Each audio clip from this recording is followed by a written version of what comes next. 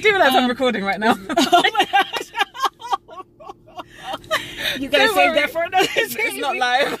Look back and be like, oh my gosh. Just a little glimpse of what we get into on a daily basis.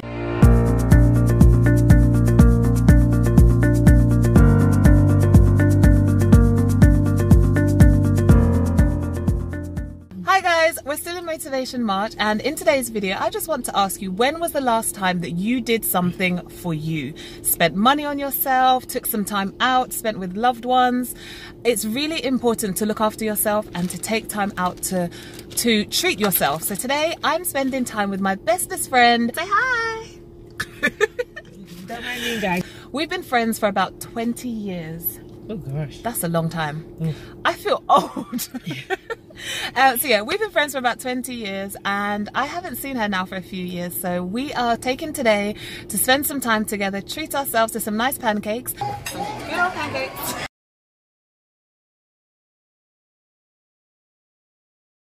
and just have a great day. So whatever you've done today, I hope that you've had a fantastic day. And if you haven't taken time out for yourself for a long time, make an effort, make a date, fix some time to spend time on yourself, spend money on yourself and look after you. Have a great day. I'll see you tomorrow. Bye.